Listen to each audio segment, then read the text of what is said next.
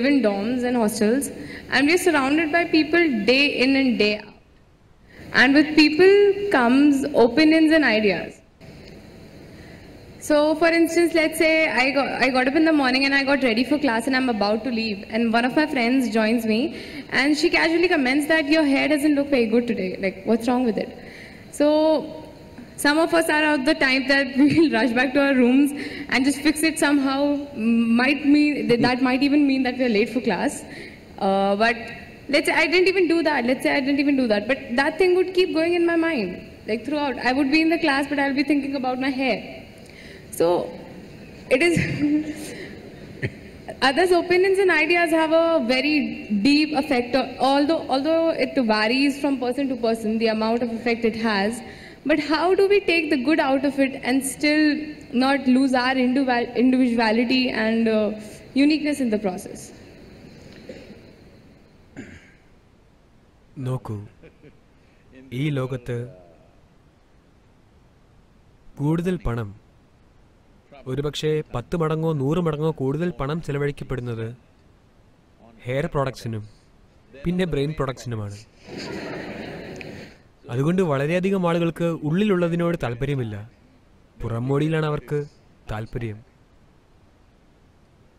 അതുകൊണ്ട് ജീവിതത്തിന്റെ ഏതെങ്കിലും ഘട്ടത്തിൽ ഒരു നിശ്ചിത കാര്യത്തിൽ തീവ്രമായി ശ്രദ്ധ കേന്ദ്രീകരിക്കേണ്ടി വരുന്ന ആളുകളെ നോക്കുക. നന്നായി നോക്കുക.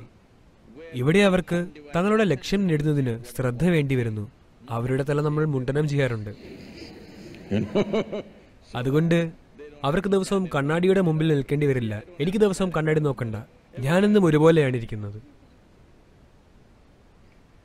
അതുകൊണ്ട് ഞാൻ കാഴ്ചയിൽ എങ്ങനെയാണെന്ന് ദിവസവും നോക്കേണ്ട ആവശ്യമില്ല. അതുകൊണ്ട് ഒരു നിശ്ചിത കാര്യത്തിൽ ശ്രദ്ധ കേന്ദ്രീകരിക്കുമ്പോൾ മറ്റുള്ള ചില കാര്യങ്ങൾക്ക് പ്രാധാന്യം കുറയുന്നു. പുറം കാഴ്ച പ്രധാനമല്ലേ? തീർച്ചയായും. ഒരു പരിധിവരെ അത് നമ്മുടെ ജീവിതത്തിൽ പ്രധാനമാണ്. പക്ഷെ ഇപ്പോൾ നിങ്ങൾ സൗന്ദര്യ മത്സരത്തിനല്ല പോകുന്നത്. ഇപ്പോൾ നിങ്ങൾ പഠിക്കാനാണ് പോകുന്നത് അല്ലേ? ഇപ്പോൾ നിങ്ങൾ ആകെ ചെയ്യേണ്ടത് തലയുടെ മുകളിലേക്ക് മുടി കെട്ടിവെക്കുക എന്നതാണ്. അപ്പോൾ നിങ്ങളുടെ മുടി കാണാൻ കഴിയില്ല. മുടിക്കെട്ട് തന്നെ കഴിയൂ. അപ്പോൾ നിങ്ങളുടെ തലയുടെ വലിപ്പം കാണാൻ കഴിയും. അത് നല്ലൊരു കാര്യമാണ്. ഒരാൾ തന്റെ രൂപഭാവങ്ങളിൽ ശ്രദ്ധിക്കരുത് എന്നല്ല പറയുന്നത്. തീർച്ചയായും അത് വേണം. എന്നാൽ എപ്പോഴാണ് ശ്രദ്ധിക്കേണ്ടതെന്നും എപ്പോഴാണ് ശ്രദ്ധിക്കേണ്ടാത്തതെന്നും നമ്മൾ തീരുമാനിക്കണം. എന്നാൽ എപ്പോഴും അതിലാണ് ശ്രദ്ധയെങ്കിൽ ഞാൻ കണ്ടിട്ടുണ്ട്. ആളുകൾ ഒരു മിനിറ്റിൽ ഇരുപത്തേഴ് തവണ അവർ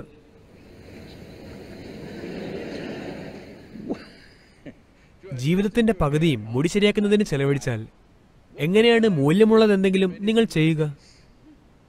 നിങ്ങൾക്ക് മുടി ഉണ്ടാകരുതെന്ന് ഞാൻ പറയുന്നില്ല. നിങ്ങളത് നന്നായി വെക്കേണ്ടെന്നും ഞാൻ പറയുന്നില്ല. എന്നാൽ രൂപഭാവങ്ങളിൽ അമിത ശ്രദ്ധ കാണിക്കുന്നുവെങ്കിൽ അതിനർത്ഥം നിങ്ങളുടെ ഉള്ള് പൊള്ളയാണെന്നാണ്. ഉള്ളിൽ എന്തെങ്കിലും ഉണ്ടായിരുന്നെങ്കിൽ നിങ്ങളുടെ പുറം കാഴ്ചയിൽ നിങ്ങൾ അത്ര ശ്രദ്ധിക്കുമായിരുന്നില്ല. രൂപഭാവങ്ങൾ ശ്രദ്ധിക്കേണ്ടത് ഒരു പരിധിവരെ പ്രാധാന്യമുള്ള കാര്യമാണ്.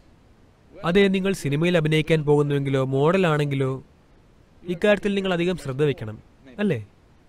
എന്നാൽ എഞ്ചിനീയർ ആണെങ്കിൽ വൃത്തിയും ആകർഷകത്വവും മതിയാകും. it's not, it doesn't uh, end at the appearances. It's about the general opinions of life and about ourselves. Let's say anything about us that they have, that people have. They some- ഏതുതരം അഭിപ്രായങ്ങൾ maybe behavioral traits, like somebody tells me, uh, you speak very loudly. Maybe you speak very loudly all the time. Why do you do that? Maybe I mean it hasn't happened with me. I'm just giving an example. So, how do we take like? നിങ്ങളുടെ pants കീറിയിരിക്കുന്ന കാര്യം ഞാൻ പറയാൻ വരികയായിരുന്നു. പക്ഷെ ഞാൻ പറഞ്ഞില്ല. ഞാൻ ജീൻസ് മാത്രം ധരിച്ചിരുന്ന ഒരു കാലമുണ്ടായിരുന്നു. ഡെനിംസ് മാത്രം. എപ്പോഴും ലിവൈസ് മോട്ടോർ സൈക്കിൾ ഓടിക്കുകയും മറ്റും ചെയ്തതിനാൽ അവ കീറുക പതിവായിരുന്നു. ഞങ്ങൾക്കവ യു എസിൽ നിന്നും കൊണ്ടുവരണമായിരുന്നു. കാരണം അറുപതുകളിൽ അവ നാട്ടിൽ കിട്ടില്ലായിരുന്നു. അതുകൊണ്ട് ഞങ്ങളത് തുന്നി ചേർത്തു. എന്നാൽ ഇപ്പോൾ ആളുകൾ കീറിയതിനു ശേഷമാണ് ധരിക്കുന്നത്. അതുകൊണ്ട് അതിനർത്ഥം മറ്റുള്ളവർ നിങ്ങളെക്കുറിച്ച് എന്ത് പറയുന്നു എന്നത് നിങ്ങൾക്കൊരു പ്രശ്നമല്ല എന്നതാണ്. ഇത് നിങ്ങളുടെ ജീവിതത്തിലെ എല്ലാ കാര്യങ്ങൾക്കും ബാധകമാക്കൂ. മറ്റുള്ളവർ എന്ത് പറയുന്നു എന്ന് വകവയ്ക്കാതിരിക്കുക. അതാണല്ലോ ആശയം. നിങ്ങളൊരു പുതിയ ജീൻസ് കീറിലുണ്ടാക്കി ധരിച്ചാൽ ആളുകളുടെ അഭിപ്രായത്തെ നിങ്ങൾ വകവയ്ക്കുന്നില്ലെന്നാണല്ലോ അർത്ഥം. എന്നാൽ വളരെയധികം ആളുകൾ അങ്ങനെ ചിന്തിക്കില്ല. ഇതെങ്ങനെ കീറി? നിങ്ങളുടെ പാന്റിന് എന്റേതിനേക്കാൾ കീറലുണ്ടല്ലോ.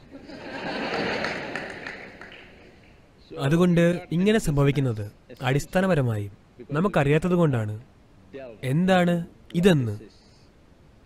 നിങ്ങൾക്ക് നിങ്ങളെക്കുറിച്ച് അസ്തിത്വപരമായ അറിവില്ല.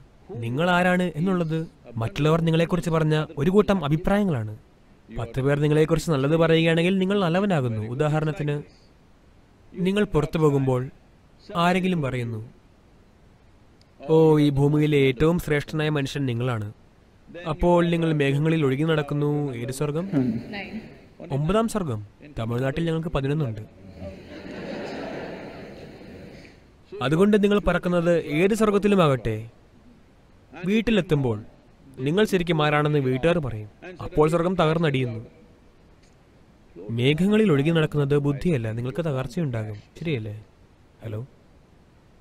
മേഘങ്ങളിൽ ഒഴുകി നടക്കുന്നത് സുരക്ഷിതമായ കാര്യമല്ല. നിങ്ങൾക്ക് തകർച്ച സംഭവിക്കും. അതുകൊണ്ട് മറ്റുള്ളവർ നിങ്ങളെ പുകഴ്ത്തുന്നത് കേട്ട് നിങ്ങൾ പറക്കുന്നത് ഏത് സ്വർഗത്തിലായാലും അത് നല്ലതല്ല.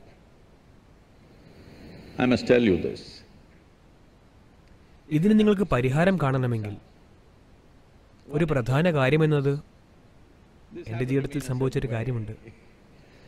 Um, എന്റെ മകൾക്ക് മൂന്നര വയസ്സ് പ്രായമുള്ളപ്പോൾ അവൾ എന്നോടൊപ്പം ഒറ്റയ്ക്ക് യാത്ര ചെയ്യാൻ തുടങ്ങി. എന്റെ മാരേജ് കാറിൽ ഞാൻ രാജ്യം മുഴുവനും യാത്ര ചെയ്തു. ഞാൻ ഇഷ ഫൗണ്ടേഷൻ നിർമ്മിക്കുന്ന കാലമായിരുന്നു അത്. കൂടാതെ എന്റെ വലതുകാലിന് എപ്പോഴും ഒരു ഭാരക്കൂടുതലുണ്ട്. അതുകൊണ്ട് ഒരു കൈകൊണ്ട് കുട്ടിയെ പിടിച്ചുകൊണ്ടാണ് വഴി മുഴുവനും ഞാൻ വണ്ടി ഓടിച്ചിരുന്നത്.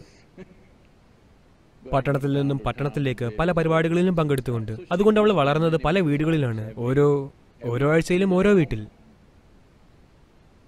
ഞാൻ അവരോടെല്ലാം ഒരു കാര്യം പറഞ്ഞിരുന്നു. കുട്ടിയെ യാതൊന്നും പഠിപ്പിക്കരുത്. നിങ്ങൾ അവളെ എ ബി സി ഡി പഠിപ്പിക്കേണ്ട. നിങ്ങൾ അവളെ ഒന്ന് രണ്ട് മൂന്ന് പഠിപ്പിക്കേണ്ട. നിങ്ങൾ അവളെ മേരി ഹാഡ് ലിറ്റിൽ ലാം പഠിപ്പിക്കേണ്ട. മേരിക്ക് ലാമ്പ് ഉണ്ടായിരുന്നു എന്ന് എനിക്ക് അറിയ പോലും വേണ്ട. ആരും അവളെ ഒന്നും പഠിപ്പിച്ചില്ല. അതുകൊണ്ട് ആരും അവളെ ഒന്നും പഠിപ്പിക്കാത്തത് കൊണ്ട് അവളെല്ലാം കാണുകയും കേൾക്കുകയും ചെയ്തു.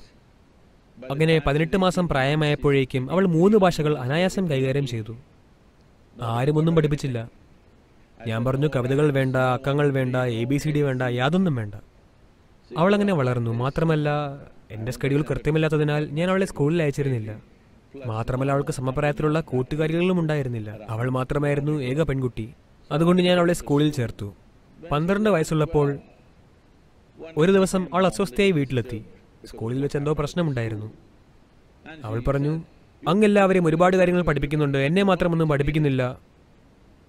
ഞാൻ പറഞ്ഞു ശരി ആരെങ്കിലും ആവശ്യപ്പെടാതെ ഞാൻ ഇക്കാര്യങ്ങൾ പഠിപ്പിക്കാറില്ല. നീ ഇപ്പോഴാണ് വന്നത്. നമുക്കെന്തെങ്കിലും നോക്കാം. നോക്കൂ നീ ഇത്രയും അറിഞ്ഞാൽ മതി. നീ ആരെയും പുച്ഛത്തോടെ കാണണ്ട. ആരെയും മതിപ്പോടെയും കാണണ്ട. അപ്പോൾ അവൾ എന്നെ ഇങ്ങനെ നോക്കി. അങ്ങനെ എങ്ങനെ കാണണം? ഞാൻ പറഞ്ഞു എന്നെ മതിപ്പോടെ കണ്ടാൽ എന്നെ ഒട്ടും തന്നെ മനസ്സിലാകില്ല.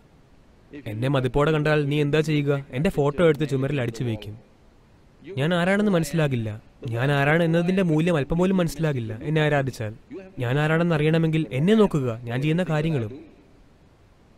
എന്നെ ആരാധിക്കരുത്. എന്നെ ആരാധിച്ചാൽ അറിയില്ലേ? ആണിയടിക്കലായിരിക്കും സംഭവിക്കുക. അപ്പോൾ ചെയ്യേണ്ടത് ഇത്രമാത്രം. ആരെയും പുച്ഛിക്കാതിരിക്കുക. ആരെയും മതിപ്പോടെ കാണാതിരിക്കുക. ഇതിത്രയും ലളിതമായൊരു കാര്യമാണ്. ഇതിനർത്ഥം നമ്മളൊന്നിനെയും വിധിക്കുന്നില്ലെന്നാണ്. അതായത് ഇത് നല്ലത് ഇത് മോശം ഇത് മഹത്തരം ഇത് അധമം ഇത് നന്മ ഇത് തിന്മ. നമ്മൾ ജീവിതത്തെ അതായിരിക്കുന്നത് പോലെ നോക്കിക്കാണുന്നു. ജീവിതത്തെ അതിന്റെ ലാളിത്യത്തോടെ കണ്ടാൽ അതിലൂടെ നമുക്ക് അനായാസം കടന്നു പോകുവാൻ കഴിയും. ഈ കാര്യങ്ങളൊന്നും നിങ്ങളുടെ ജീവിതത്തിൽ ഒരു പ്രശ്നമാകില്ല.